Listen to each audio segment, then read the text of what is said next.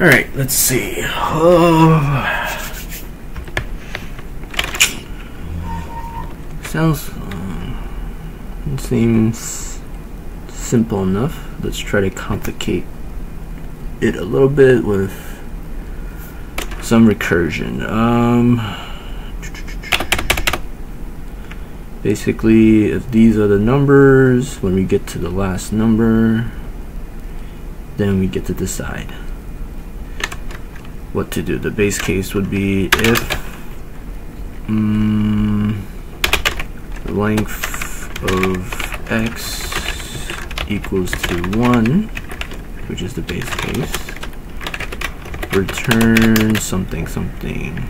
Return, let's see. Return return 0 if int, let's make sure it's an integer of x is less than 5 else return 1 so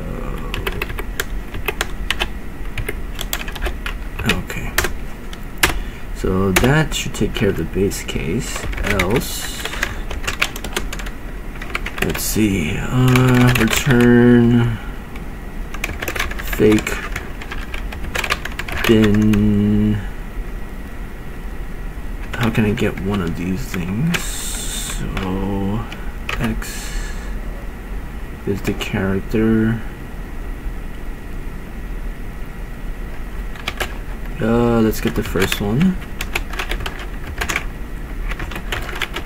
Plus fake. Keep on recursing in, recursing in, then x, let's do it from, starting from 1, so we ignore everything else, close this out, and that should be it.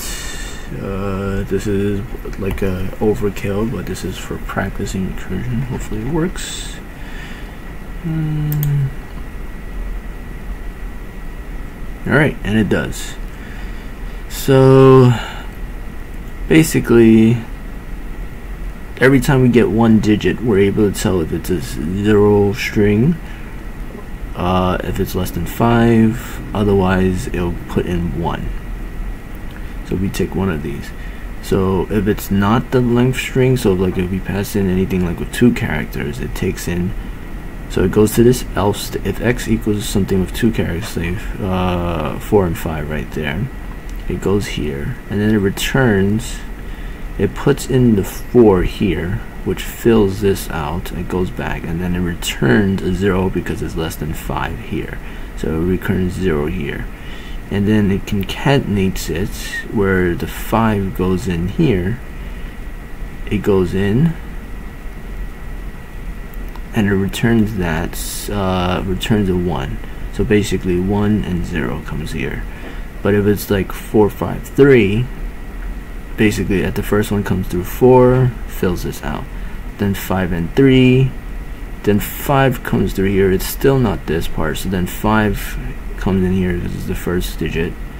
And then 3 and then when it fits figure out the 5 part the next time it comes through here it comes a 1 and then the 3 gets in here it equals there.